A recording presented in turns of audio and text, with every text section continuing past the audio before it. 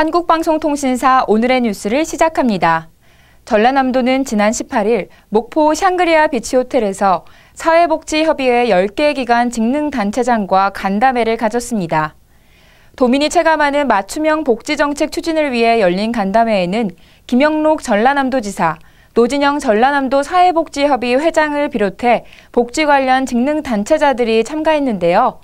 전라남도 사회복지협의회 주관으로 주민 복지 증진과 지역 주민 복지 만족도 제고, 감동을 주는 전남 맞춤형 복지 실현을 위해 다양한 현장의 목소리에 귀를 기울였습니다.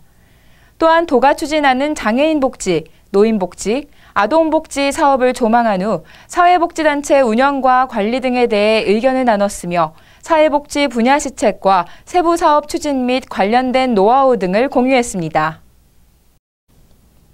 김영록 도지사는 어려운 여건 속에서도 전남의 복지를 책임지는 많은 관계자 여러분께 감사드린다며 전라남도는 지속적인 관심과 지원을 아끼지 않겠다고 말했습니다. 이상으로 한국방송통신사 뉴스였습니다.